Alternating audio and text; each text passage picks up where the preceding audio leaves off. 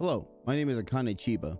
I'm a virtual streamer, virtual YouTuber, whatever you want to call me. I do a lot of 3D model working, so I kind of understand how things more or less work.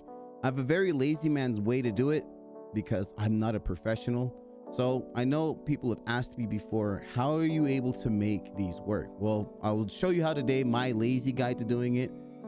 Don't use this as like a be all end all. It's not the best method to doing things. There's other ways to do it, but it's just the workflow that has worked for me. So we'll get right over to it. What you're gonna learn in today's video is very quick, is uh, how to sculpt uh, clothing to your model as well as uh, weight painting, a very simple weight paint transfer, which is kind, it works kind of.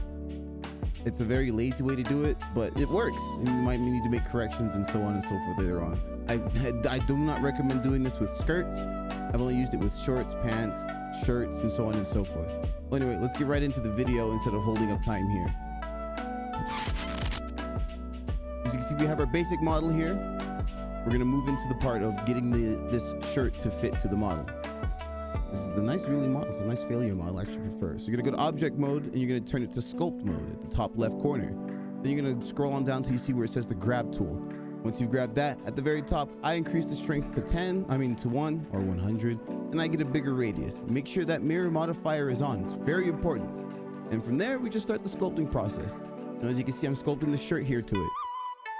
It's not too hard. It's a little tedious, and you want to make sure that your brush strokes are really big. The more you're zoomed in, the more precise it is going to be for you to do it. The more you're zoomed out, the more you're going to be able to grab. At least that's the way I have mine set up, as you can see here.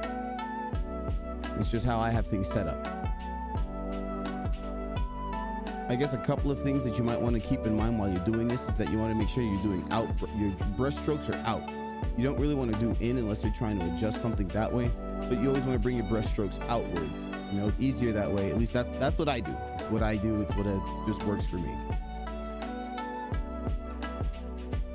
More or less at this point in time, we've got a lot of the sculpting done. It's easy. Now we're going to go back to object mode. Now we need to remove the weights off this sweater.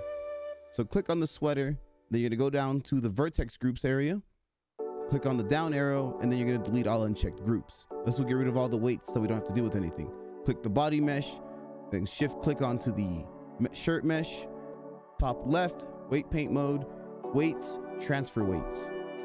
Now we're gonna have to do a couple of options on here. Change it to nearest face interpolated, and then where it says by name. And we're basically done. That's it. As you can see, that stuff was generated. Now, a couple of things you have to do because I still have the armature attached. So obviously if I try to move it down and pair it, it's not gonna work. It's gonna go back to it. So what I like to do, right, is I'll unhide the armature. As you can see, I'm making a couple of mistakes here. Stand by, don't worry, we got this. Akane, come on. You're gonna select the armature. Oops.